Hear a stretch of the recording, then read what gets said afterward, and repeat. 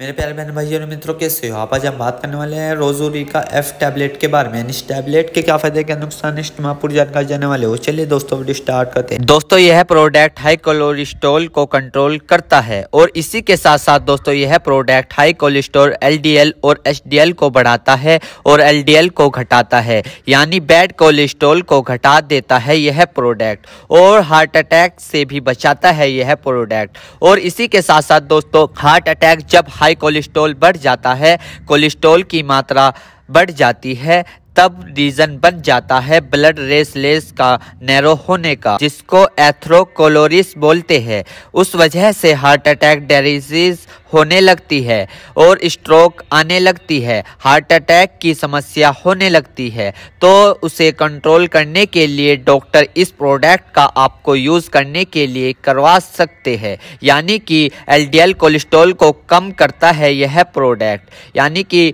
जो आपका high cholesterol हो जाता है, उसको कंट्रोल करता है यह प्रोडक्ट मेरे प्यारे बहनों, भाइयों, आपको दो बात विशेष रूप से ध्यान रखनी है। नंबर वन अगर आप इस प्रोडक्ट प्रोडक्ट का यूज़ कर चुके हैं और आपको कोई भी परेशानी या किसी भी तरह के का अन्य साइड इफ़ेक्ट दिखा है तो घबराए नहीं, तुरंत इस प्रोडक्ट को लेना बंद कर दे और अपने डॉक्टर से संपर्क करें। नंबर टू, किसी भी प्रकार की अन्य मेडिसिन या किसी भी अन्य प्रकार का कोई भी प्रोडक्ट अपने डॉक्टर के सलाह के नहीं लानी चाहिए, क्योंकि मरीज़ की, पेशेंट की उम्र अकॉर्डिंग अंदर बॉडी में क्या चल रहा है, क्योंकि दोस्तों, हर आदमी के अंदर अंदर अलग अलग हार्मोन्स होते हैं। उनके हार्मोन्स के ऊपर, उनकी उम्र के ऊपर, उनके वज़न के ऊपर, उनकी जाँच करवाने के बाद डॉक्टर दवाइयाँ देता है। इसलिए दोस्तों, पहले अपने डॉक्टर से परामर्श यानी कि संपर्क करें, क्योंकि दोस्तों, जान है तो जहाँ है, वरना सब मिट्टी समान है। उम्मीद करता हूँ दोस्तों,